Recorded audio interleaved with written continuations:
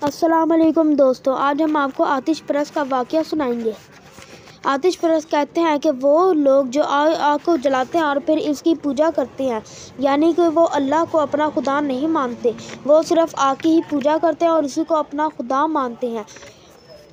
एक दफ़ा एक आतिश परस्त अपने बेटे के साथ रमज़ानुल मुबारक के महीने में मुसलमानों के में गया और वहाँ पर जाकर उसके बेटे ने कोई चीज़ खरीदी और सारों के सामने खाने लग गया।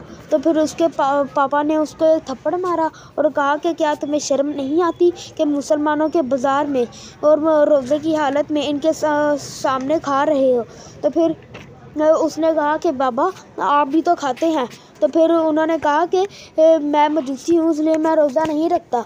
और मैं अगर खाता भी हूँ तो घर में बैठ कर छुपके से खाता हूँ कि कोई मुसलमान मुझे देख ना ले। नहीं तो उसका भी दिल करेगा। ऐसे मैं खाता हूँ, घर में बैठ के। ये देखो तो फिर उसने कहा कि तो फिर चंद दिनों बाद उस आदमी का इंतकाल हो गया। और फिर उसके बेटे ने एक दिन रात को ख्वाब में देखा कि उसके बाबा जो हैं वो जन्नत में जन्नत में टहल रहे हैं।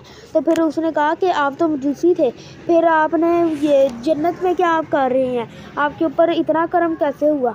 तो फिर उसके पापा ने कहा कि जब रमज़ानुल मुबारक ख़त्म होने लगा था और जब मेरी मौत आने लगी थी तो तो फिर मैंने ना अल्लाह ताला का कलमा पढ़ लिया और फिर मैं मुसलमान हो गया। फिर मैंने नमाज़ें पढ़ी और रोज़े रखे जितने रह गए थे और फिर उसके बाद मेरा इंतकाल हो